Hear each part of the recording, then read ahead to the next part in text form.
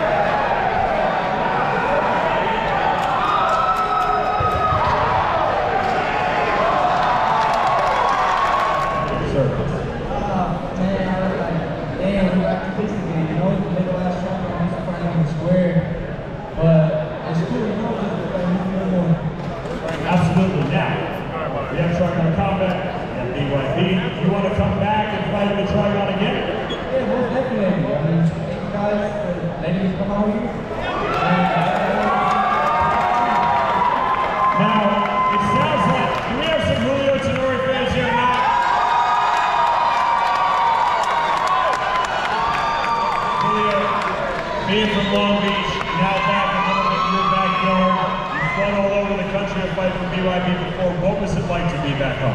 Close them. Um, it feels great, man. There's a lot of people that could come out that weren't able to come out to Florida, so thank you guys. Muchas gracias a todos los que the a Ladies and gentlemen, one more time for your winner.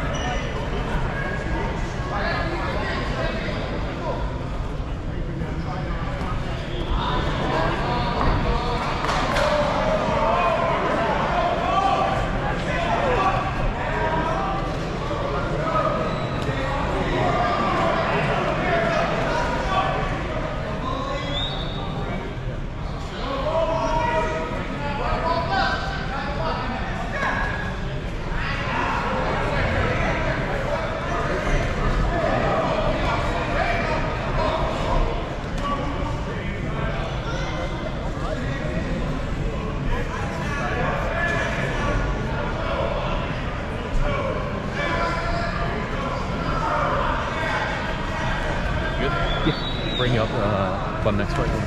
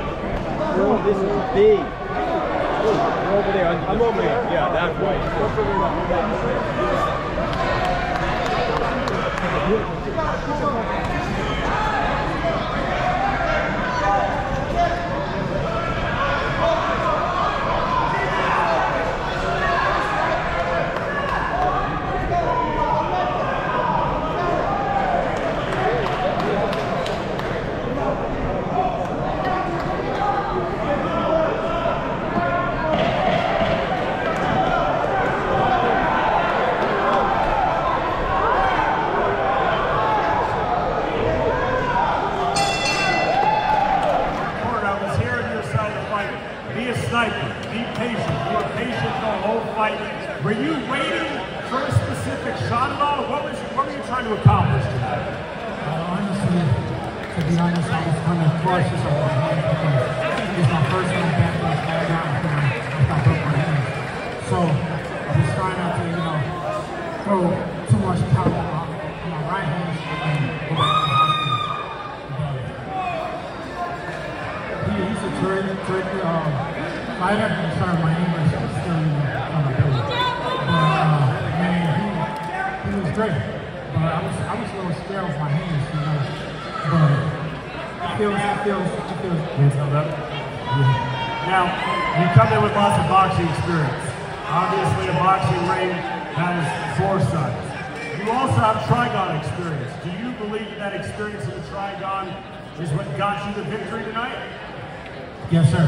To be honest, because because um, I sparring in the triangle in the triangle at the at my gym, and you know I got some of the best coaches in the in the world. So they've been working with me like Coach AJ, Coach Zay, Coach Day. You know all these guys come together as a family, and plus my brother, my brother Serge. You know they've been sparring me so. Man, and I got some terrific, terrific uh, uh, teammates like Julio, my brother, man, and my sisters, both of my sisters. So they've been pushing me, you know. And the triangle is actually is is, is helping me with my uh, with my boxing. You enjoy fighting in the Trigon. Uh, yeah, and, and plus I got I got a great promotion team behind me, and uh, man, Miss uh, Miss uh, I'm sorry, I'm sorry. You're all right, Isaac. Mr. Mel and, and all of them, you know, they've been they've been encouraging me. When I broke my hands, they've been helping me, man. And I'm so I'm so glad I was able to come back in the ring. I mean, in the triangle for my hands, and my hands is getting better. So I'm sorry for everybody. Um, if I, I didn't get the knockout, and if I disappoint y'all, I'll, I'll apologize. No disappointment, Isaac. Y'all the victory tonight. I do have one question for you. Are we going to see you inside the Trigon again? I'm signed to y'all. So when whenever Mel call, you know, that's that's that's my big brother uh, over here. So when he calls, to bring me, get ready. And my coach tell me, you know, I gotta get ready. I'm talking to y'all, so I'm your property. Well, we're happy to have you here. Ladies and gentlemen, one more time for your winner, Isaac Puma Freeman.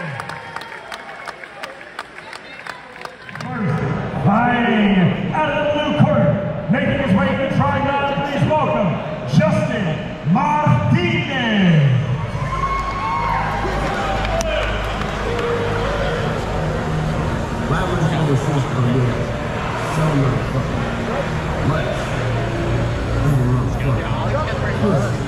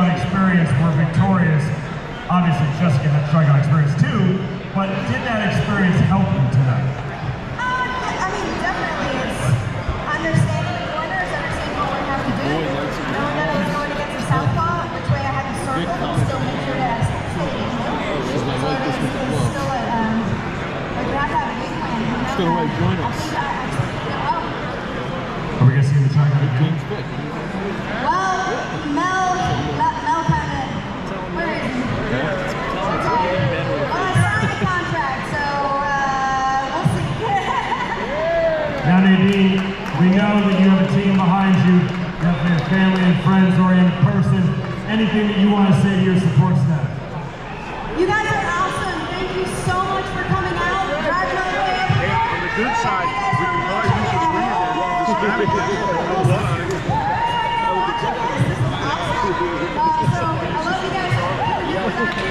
Big shout out to Angel Ramirez. Trying to get her on the tonight. Thank you.